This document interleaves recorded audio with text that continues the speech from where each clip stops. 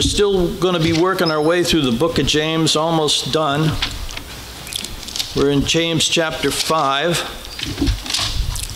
which is on page 1199 in your Pew Bible. If you'd like to turn there, read along.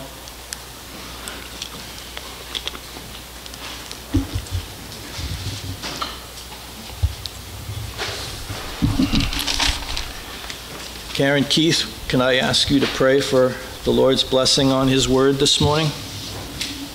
Father God, we're here to worship you, adore you, and we are so thankful that as a body of Christ we can come and hear your word. Touch our hearts today, Lord. Be with Pastor Tony as he brings his message from your word so we can receive it from you as a gift. In Jesus' name, amen. Amen. Going to read verses uh, 7 through 12. Having patience in suffering. Be patient then, brothers, until the Lord's coming. See how the farmer waits for the land to yield its vulnerable crop, valuable crop, and how patient he is for the autumn and spring rains. You too be patient and stand firm, because the Lord's coming is near. Don't grumble against each other, brothers, or you will be judged. The judge is standing at the door. Brothers, as an example of patience in the face of suffering, take the prophets who spoke in the name of the Lord. As you know, we consider blessed those who have persevered.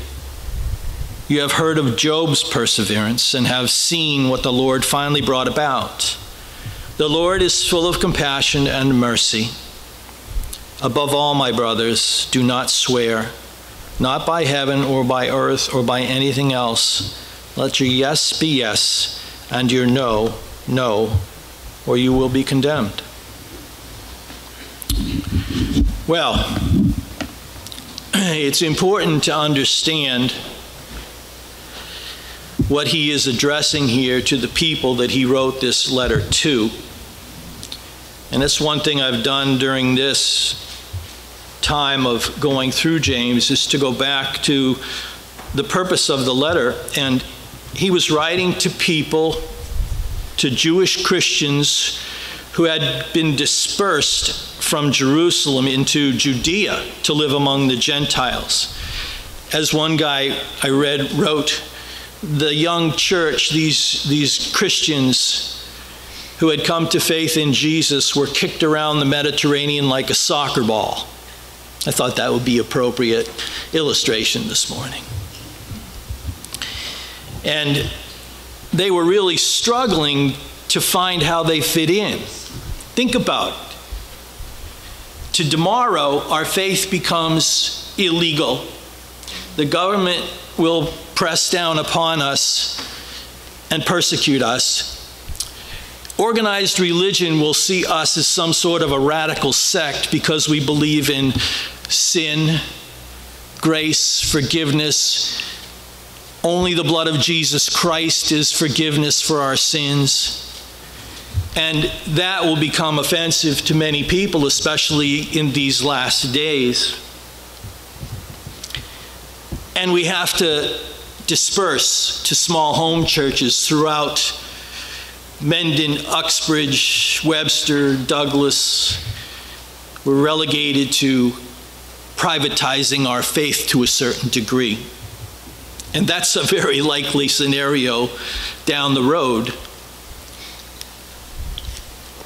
But they had to leave their homes, their communities, their jobs, the culture that they knew. Everything revolved around their faith and their religion. Their communities were built. And all of a sudden, it began in Jerusalem with the martyrdom of Stephen. And suddenly the church was persecuted by Herod, persecuted by the Jews, and they had to disperse and run away, or they'd be killed. So they left everything behind no jobs, take what you have on your back and what you can carry, and go. and reestablish yourself. And this is who James is writing to people that were in this situation and they were trying to maintain their faith in Christ while developing new community among a heathen people. And they were struggling financially, especially because they would have to take whatever work they could get. There was no established, you know, monster.com. No, you had to go out and say, hey, where can I get a job? You know anybody that's looking for help today? And they would go, and because they were so dependent upon the, the aristocracy or the wealthy people who would hire them for the day to clean their fields, to glean their fields, to, to, to just to work like servants or slaves. And then they would shortchange them at the end of the day. So you, I'm going to pay you $20 an hour, so at the end of the day today I owe you 160 bucks. Well, I haven't got all of that, so here's 110.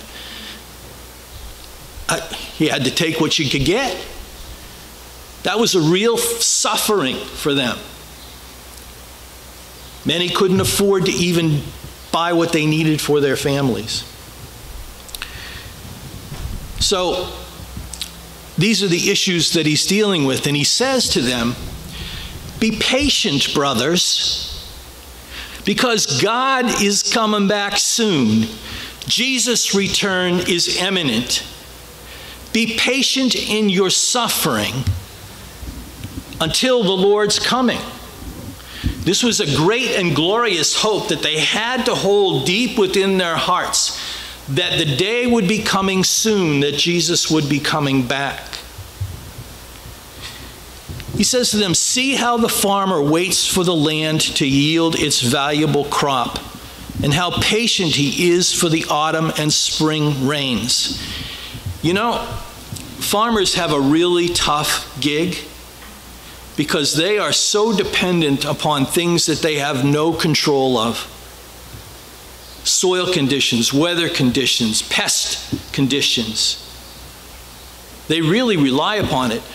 Bronda and Ruth grew up on a small farm in West Virginia, and they were dependent upon that farm to provide their needs.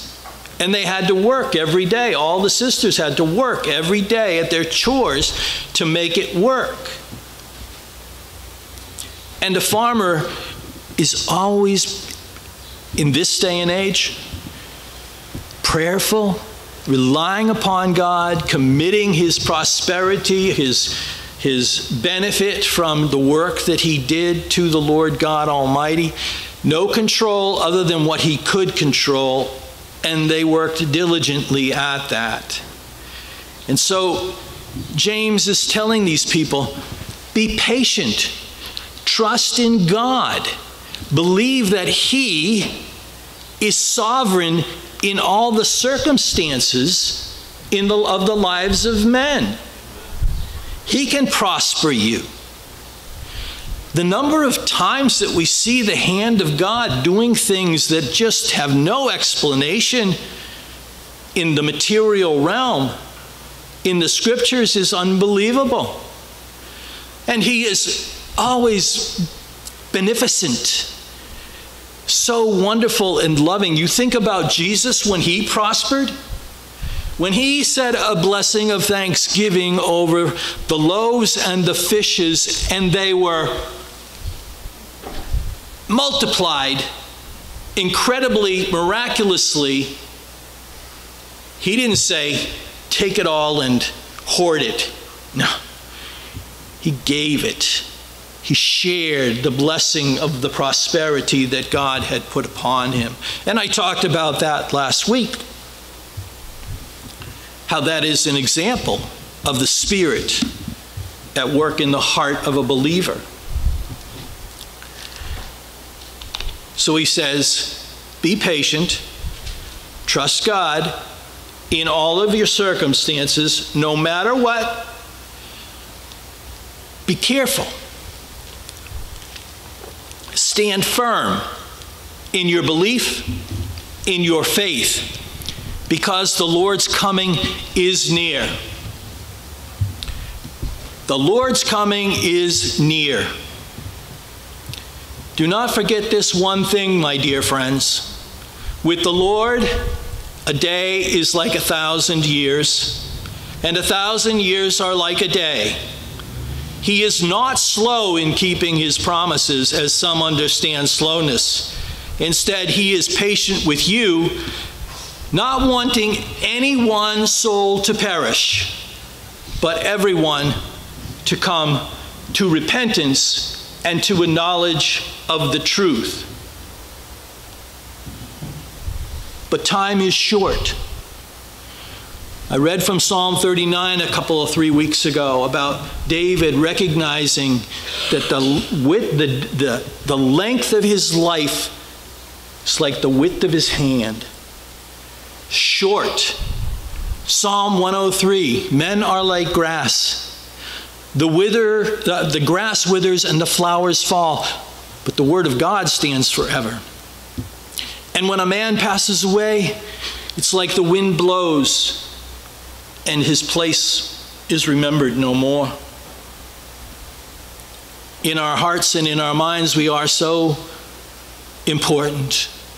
And the struggles and the things that we go through every day, they're so big and so incredibly important. And I think about as I mute, as I meditate on these things, I think about the things that I have worried about in my life and how much energy I put into trying to control circumstances and outcomes.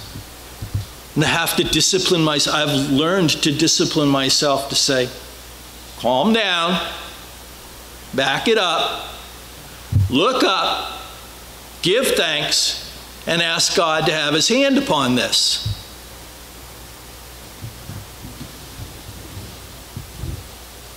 Didn't have to worry. So I look back. What was I worried about? Not being in control.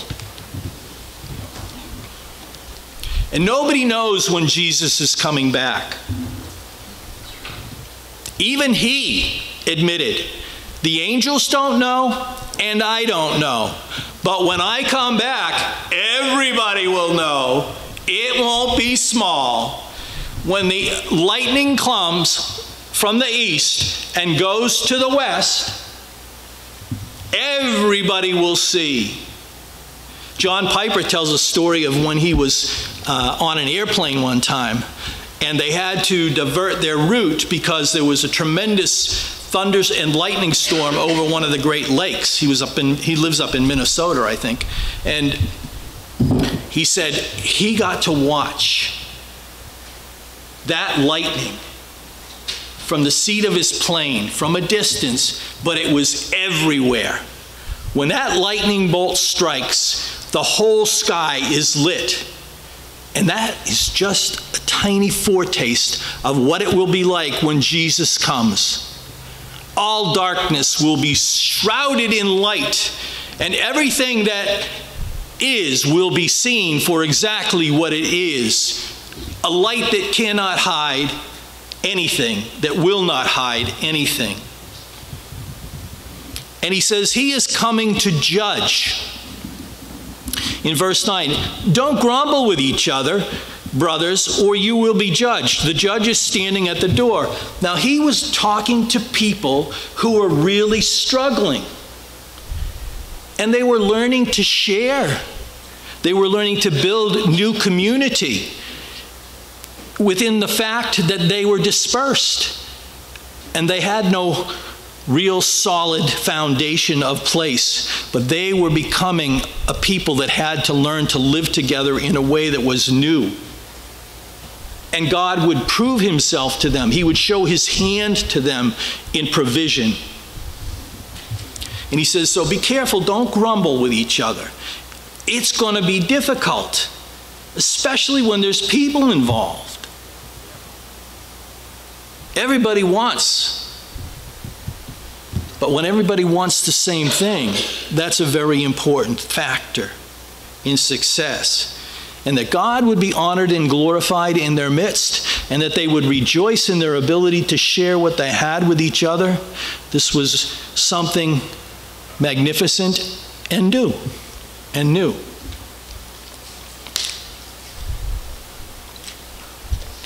So we are to be patient in circumstances. And he cites the examples of the prophets who were been blessed, were considered blessed because they persevered. Did you know that Jeremiah was thrown down a well? He was so persecuted by the people, he, he was faithful to preaching the hard word of God to the Hebrew people, to the Israelites. And he they took him and they threw him into a well which had like wet clay, soft wet clay in the bottom, so that he would sink slowly, like in slow sand, not quicksand. And people came and rescued him wonderfully. But those people, he persevered in truth in the difficulties of maintaining his faith in God, his promises, and in his commandments. And Job's perseverance is legendary. But look at what, look at what the Lord finally brought about in his life. And he says that the Lord is full of compassion and mercy. So as we wait for his return, which is soon, we must be patient in our circumstances. And we must stand firm in our faith. Now, enough about them. What about us? What would James say to the Christian church in this day and age? Our suffering is not necessarily with poverty. It's not necessarily with overt persecution like them. Perhaps our suffering or our struggle has to do with our prosperity.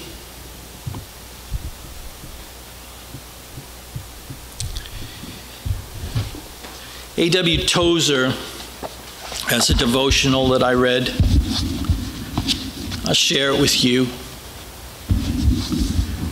Remember, we're looking at ourselves now. And I'm asking, what would James say to the church in this day and age in the United States of America, the Western Church? He quotes Matthew 24 12, and because iniquity shall abound, the love of many shall wax cold. Jesus' words about the church. The first and the greatest commandment is to love God with every power of our entire being. Where love like that exists, there can be no place for a second object. Yet popular Christianity has as one of its most effective talking points the idea that God exists to help people to get ahead in this world. The good of the poor has become, uh, the God of the poor has become the God of an affluent society. We hear that Christ no longer refuses to be a judge or a divider between money hungry brothers. He can now be persuaded to assist the brother that has accepted him to get the better of the brother who has not. Whoever seeks God as a mean means toward a desired end will not find him. God will not be one of many treasures. His mercy and grace are infinite, and his patient understanding is beyond measure. But he will not aid men in selfish striving after personal gain. If we love God as much as we should, Surely we cannot dream of a loved object beyond him which he might help us to attain. The television is full of preachers that will tell you that Jesus, the creator of the universe, in your life is to give you everything, to give you the blessings, to make you all you can be, to give you your best day ever. I don't think Jesus would agree with that. Love the Lord your God with all your heart, soul, mind, and strength, and love your neighbor as yourself. The same spirit that was at work against the work of God amongst his people in the time of James the apostle, James the brother of Jesus, is the same spirit that is at work today. And as he looked to destroy Jesus' church, through the circumstances that they were struggling with is the same spirit that today seeks to destroy Jesus' church in the midst of the circumstances in which they find themselves. And we must recognize that our struggle is not with flesh and blood but against the rulers, against the authorities, against the powers of this dark world, and against the spiritual forces of evil in heavenly realms. We must recognize that God requires us to love Him before all things, above money, above comfort. Nothing should replace Jehovah Jireh, the Lord my provider, in our hearts and in our minds. And we must be careful as believers in Christ not to make God a God of convenience and a God of blessing only, but a God of holiness and in love. We must not see him as a means to an end. The end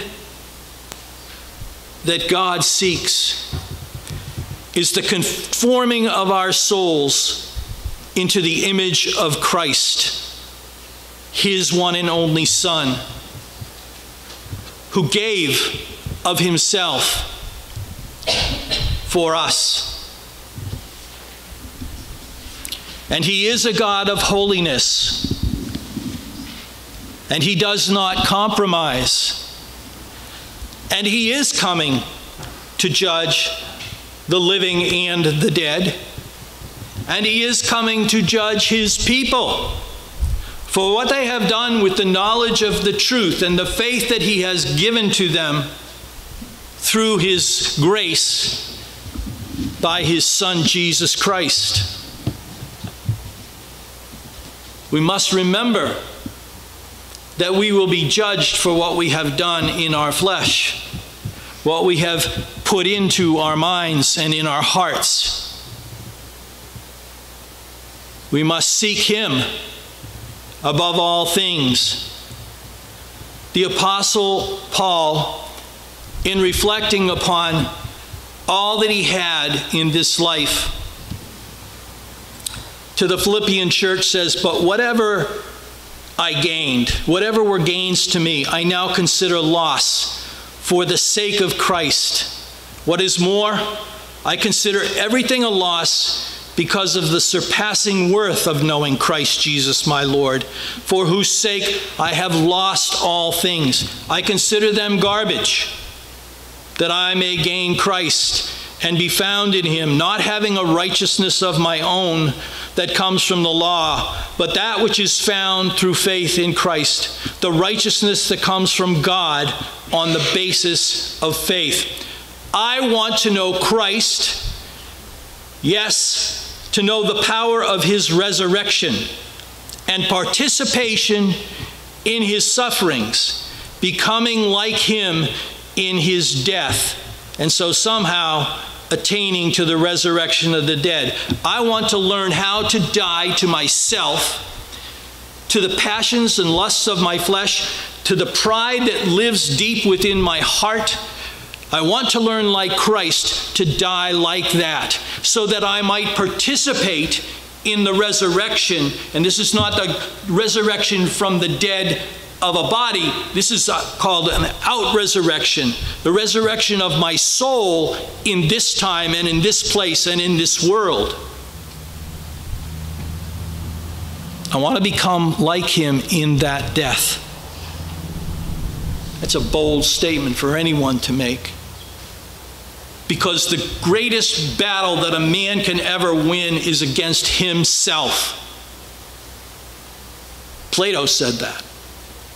Greatest adversary you will ever face is you. That is truth.